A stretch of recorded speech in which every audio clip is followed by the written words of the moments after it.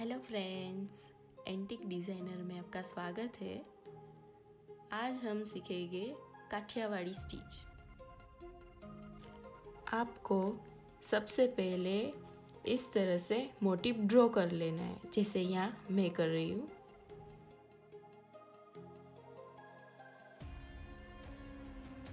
Draw करने के बाद आप अपनी मनपसंद का कोई भी थ्रेड यहाँ यूज़ कर सकते हो।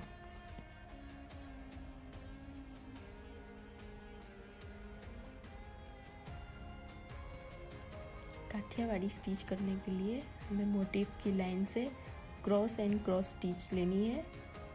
ये सिंपल सी स्टिच है। हमें सामने सामने से स्टिच लेनी है। जैसे मैं यहाँ कर कर रही हूँ।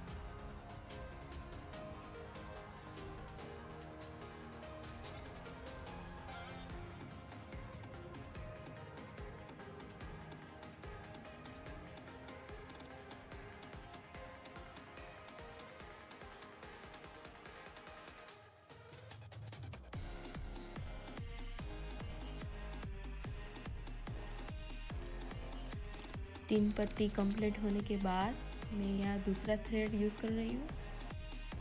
आप भी अपने मनपसंद का थ्रेड यूज़ कर सकते हो।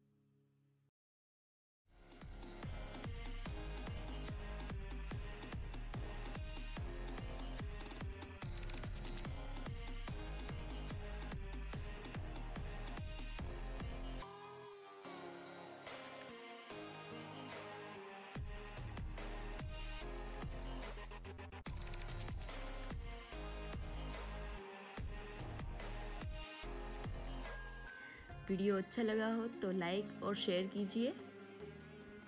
और ऐसा ही कुछ नया सीखने के लिए मेरी चैनल को सब्सक्राइब करना मत भूलिए। यहाँ हमारी काठियावाड़ी स्टिच कंप्लीट हो चुकी है।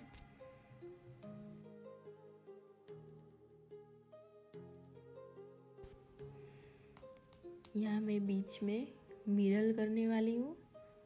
आपको मिरर वर्क सीखना हो तो मुझे कमेंट कीजिए। Thank you for watching.